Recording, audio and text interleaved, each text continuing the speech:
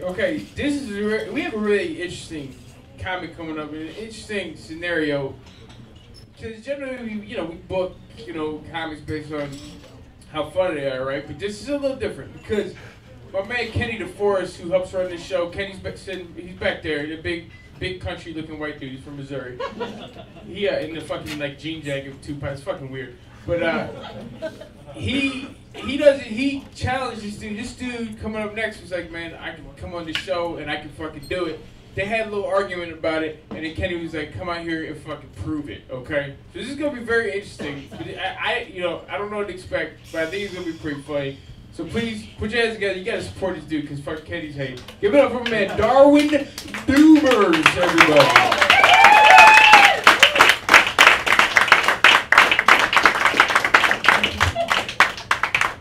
Hey there.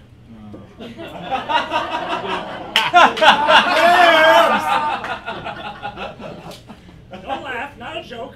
Didn't plan it.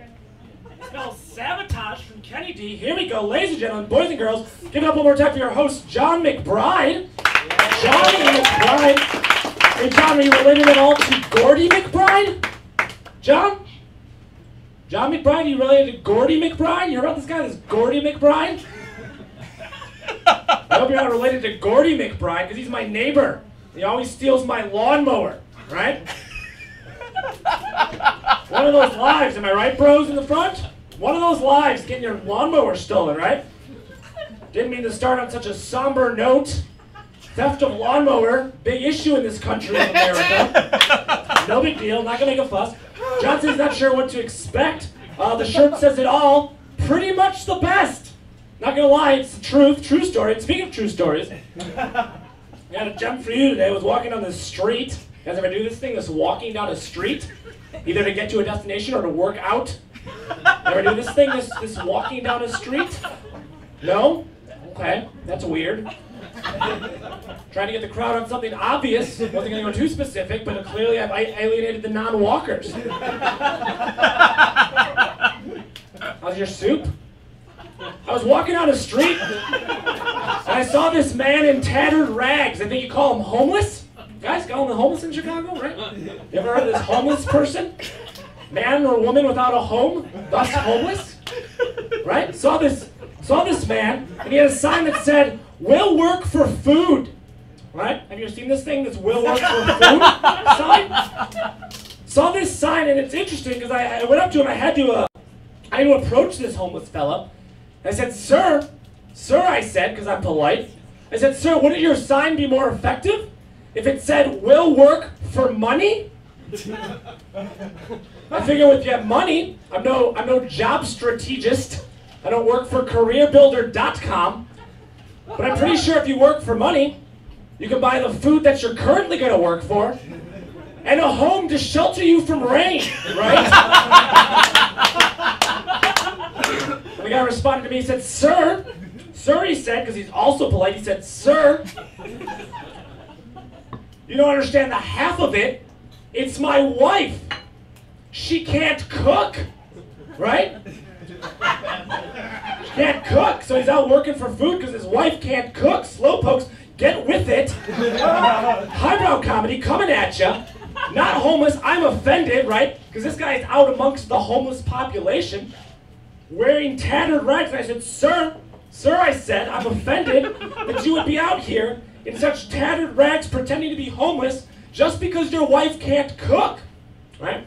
And he said to me, No, sir. Sir, he said, he said, Sir. Can't stress enough, he said, Sir. He said, Sir, he said, it's not that. You don't know the half of it. It's my wife. She can't sew either. Now I'm kind of starting to think, I'm a little confused, right? A little bit baffled. Why this man married her? She can't do any of the household chores. Am I right, fellows? She can't cook if she can't sew. Kick her to the road, don't you know? Remember that slogan from your childhood?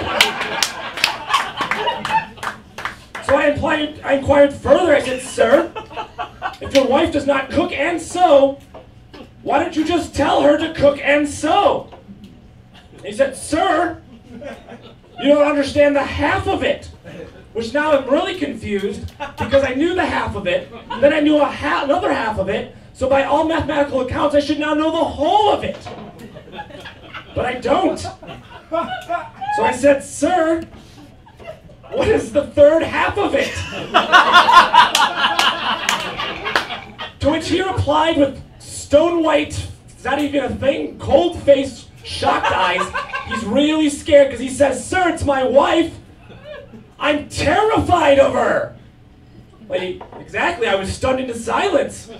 You can't leave it just like that, right? Can't leave it like that. So I had to implore, had to inquire further. I said, Sir, why are you terrified of your wife?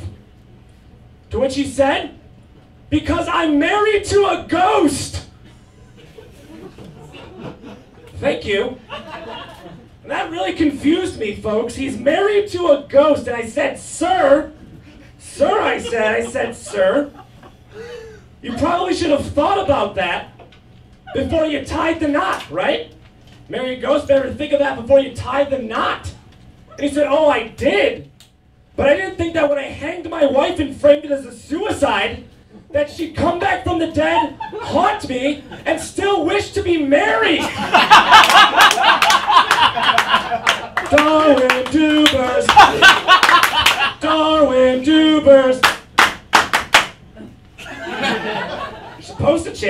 deal, not gonna make a fuss, no big deal, right? That's right. I got shirts. Probably wondering, probably wondering, when is he gonna plug his upcoming best-selling book? The answer, three, two, one, right now. Ladies and gentlemen, if you or someone you know wants to be a stand-up comedian, that's true. The offspring of awesome, myself, Darwin Doobers, have published a book, Laughs, Lies, and Lemonade. The Doobers approach to stand-up comedy. It's gonna be on sale for after the show, next to the Speakeasy Tees.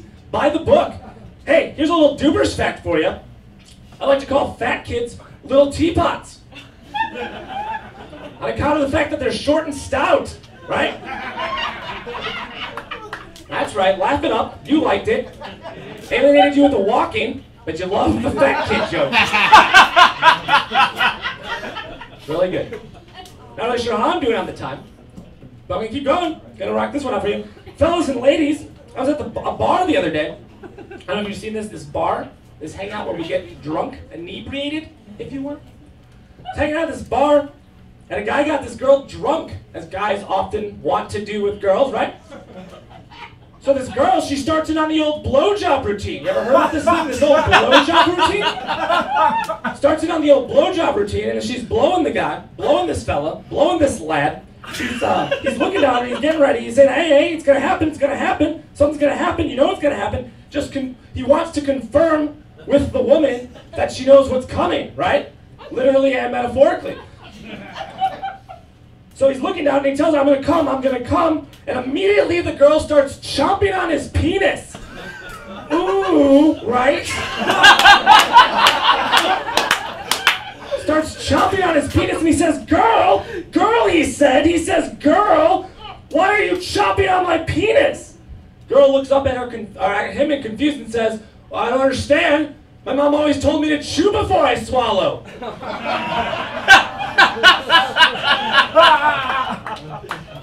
That's what we call a zinger. Good lordy. Oh man. Uh, Jeannie mentioned Jewel Osco. You guys heard about this place? You ever shop at this Jewel Osco? Trying to get everyone on board. We're isolated at really weird times in this showcase. Ever heard about this Jewel Osco? Thank you. Everyone knows about Jewel Osco, right? Their slogan is Jewel Osco, where you can count on people who care, right? Oh, really, Jewel Osco? If you cared so much, you would never retard bag my groceries.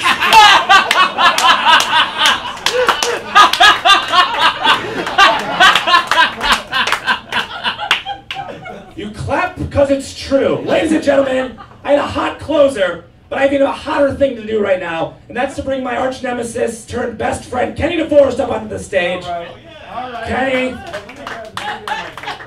Ladies and gentlemen, for those of you that don't know, Mr. Kenny DeForest, Kenbo Slice, as some people like to call it,